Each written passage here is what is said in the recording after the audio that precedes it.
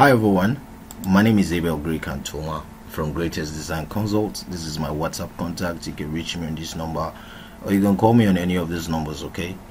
Today I will quickly be showing you how to design a staircase using the RCC spreadsheet. If you're able to get to this point, I want to tell you a very big congratulations because we are able to do our design or slab, then we design our beam, uh, then to column, then to the foundation. Then the last one but not least is the staircase. Like you know the staircase is an independent structural member so there is no load that is being transferred to the staircase. If you can remember from the beginning if you have been following the slab was the first structural member we designed and then we distribute the load to the column then the uh, sorry we distribute the load to the beam then we took that load from that beam distributed to the column and then the load from the column was now sent down to the footing and then the footing will take it to the natural ground. Okay so but in the terms of staircase there is no load that is distributed because the staircase is an independent structural member. That means is on its own. There is no load that is uh, being taken to the staircase the staircase is not adding any load to the building. The building is not adding any load to the staircase. So it is completely entirely independent. Now if that is correct what we do need to do now is to fill in this information based on what the architect has given us. So if you go to the architectural floor plan and then the cross section you'll be able to have all of these informations and you type them in so if we come to our general arrangement which is this this staircase i'm going to take it out here and bring it here for us. So it's the same thing. What we have there is what we have here. So if you take out this part of this staircase it's going to look like a straight flight, like a straight flight. So if that is correct now if you check the landing here is 900 the landing at this point where you are starting your flight this part is 2000 and then you move from this way you land here and then you come up here. So this is basically how this staircase is like. So if we assume just this region just this part to be a straight flight this is going to be 900 this is 2000 and then this one here all we need to do is to count the number of thread that we have here so if you count this 1 2 3 4 5 6 7 8 9 10 11 12 now this the spreadsheet actually goes a long way in actually telling you what number of thread is this. All you need to do is to type in the distance from here to here. That is your flight. If you type in those information it will give you all of this information automatically.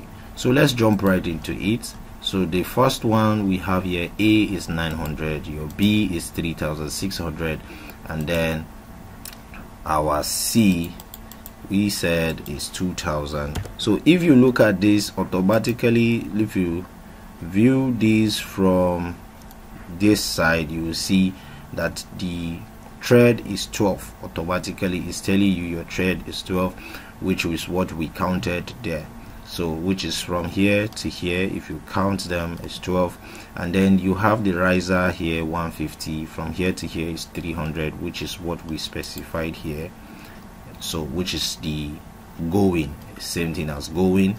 And then the riser here is actually 150 by the time you put in all of this information the landing a here has what we call a a a waist um, this is a waist so each of them is actually 150 in thickness.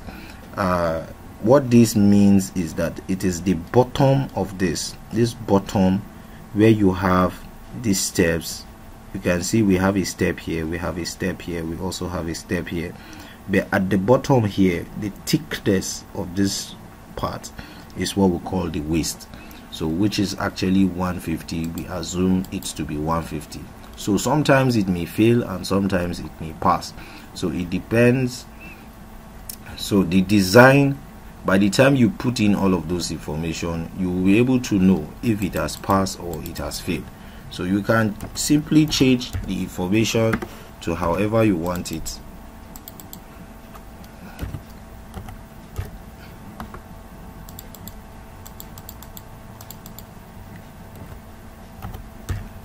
don't forget that uh, this uh, this uh, software uh, the informations you need to fill in are the ones in the blue cells okay?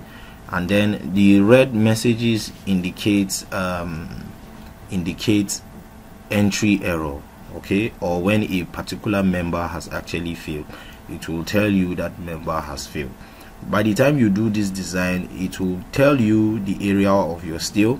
You can use your chart to confirm this. Then it's telling you that we are supposed to use y10 at 300 spacing. So we have 26 number for top and bottom distribution. So this is basically what this um, spreadsheet is actually uh, asking us to use. You can specify the minimum bar you can specify the maximum bar as well. The concrete characteristics strength of your concrete characteristics strength of your steel. All you need to do is just to type in the information. Whatever information you type everything actually takes place uh, takes shape. Everything here automatically uh, will be readjusted. So this is actually the closest to the manual design like I said that you can do as far as uh, structural design is concerned. But um, I will also encourage you to learn the RCD 2000 it actually goes a bit more deeper than RCC spreadsheet when it comes to design. Uh, RCD 2000 is so far the most closest to your manual design that you can do and is the best for any beginner that I will always encourage you as a fresh civil engineering graduate or you are still a student about to graduate please do not jump into those very automated softwares uh, because they may most likely not help you in understanding structural designs better. Okay so if you love what you are seeing make sure that you like this video. Just give it a thumbs up. Subscribe to this channel. It's actually 100% free. Click on the bell icon so as for you to always get a notification whenever i post videos. Post videos like this on a weekly sometimes even on a daily just to encourage as many that actually want to have a deeper insight of design okay uh, like you know we have covered structural design mechanical and electrical service drawing architectural drawings road designs and water designs. They are all available in our youtube channel. All you need to do is just to go down below the description of this video. You'll find a link to that youtube channel. Visit the channel and actually keep yourself busy okay? So make sure that you stay safe and you stay blessed